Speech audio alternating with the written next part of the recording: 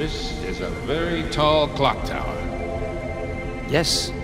Yes, it is.